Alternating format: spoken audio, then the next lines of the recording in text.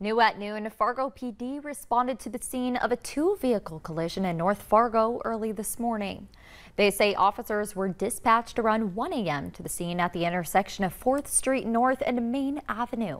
Police also say occupants from one of the vehicles fled the scene and the extent of injuries from the crash are unknown at this time.